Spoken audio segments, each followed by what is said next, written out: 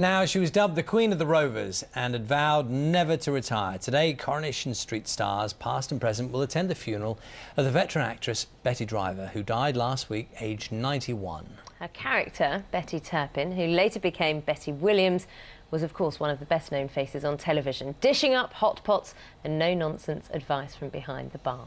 In a moment, we'll speak to the TV critic Toby Earle. First, though, let's look back at her career, which began when she was a child performing in variety shows. Now I will tell you of a story of a fine Alpine. How they covered him with glory. Will you show me your modus operandi? Me what? Your method of defense. Very well. Right, you ready? Ready. Right. Right. Go!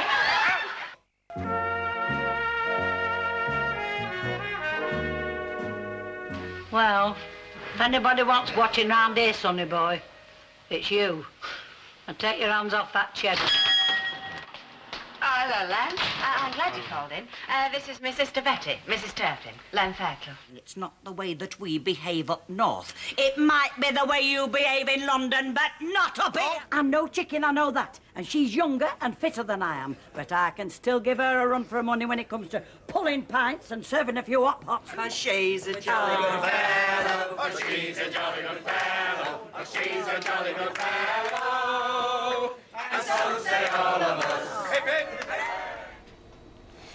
Such a recognisable face. I don't think she'll be so missed. And Toby, um, she uh, it's quite interesting watching that um, report because not many people know what she did before she joined Coronation Street. That, that's it. I mean, 42 years behind the bar, serving up those hot pots. You, you might have heard of them, Betty's hot pots. Um, but prior to that, she had a 40-year career as a singer and actress. She worked with people like Carol Reed, George Formby. I mean, she was a big deal, and she had her own BBC radio show, A Date with Betty. She toured a lot, performed to service personnel. So she was a huge name. So when she joined Coronation Street, it wasn't as if she was, an, she was some, not quite an ingenue, but she wasn't like an unknown. It was actually someone who the older you know, audience would have known exactly who, who it was. Of course, over the years, as that audience has, has left us, uh, the younger audience only sees her as Betty. But of course, she's had a, an 80 odd plus year career, but two completely separate careers. And talk us through a little bit about the, the, the Coronation Street that she joined. Yeah. It was ordinary life, wasn't Yeah. it? I mean, it, soaps have changed so much, and she was one of those kind of characters. She was, you know, she was behind the bar and often didn't have much to say. I mean, in, in many of the episodes, but she was just, she was just there, wasn't Yeah, she? She was, yeah. she was kind of the, part of the continuity of the program. Absolutely, and and so yeah, you're quite right. She hasn't had those meaty, juicy storylines that other characters have had, certainly in the latter stages of her time on the street.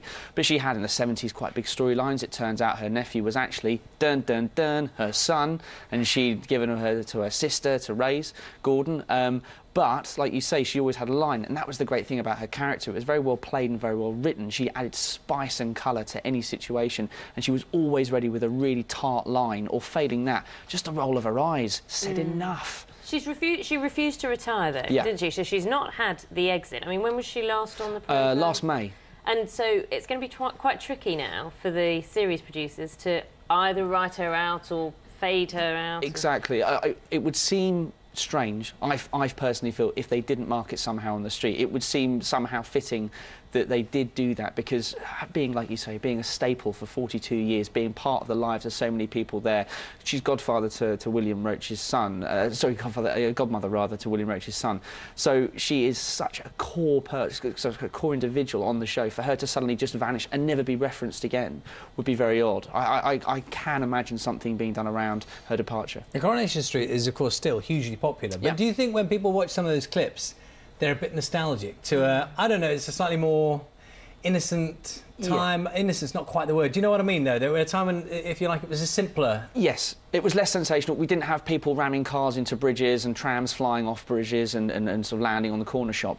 Um, so, so it has, of course, changed. I think what Coronation Street has always been very good at is, is having that sense of family and that sense of family at its very core, and also having uh, sort of characters of more uh, advanced years, shall we say, who we can all relate to. We know someone like Betty or someone like Blanche who has a very quick line, won't suffer fools, and we know people like that. And if we lose those kind of characters on the show, then we're divorcing ourselves from the reality of what we ourselves can relate to. Her funeral's later today. Uh, I can imagine it's going to, there's going to be a massive turnout of past um, stars of Hmm. the programme. What's going to be her legacy? How will she be remembered?